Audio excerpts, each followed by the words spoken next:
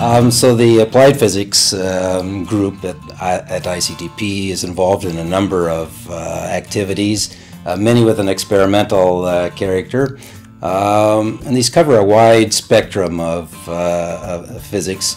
But the important thing is that we are looking at one specific area of interest to train trainers. We are interested in training trainers in, in all these areas. In applied physics at ICTP, we also incorporate this, this kind of philosophy.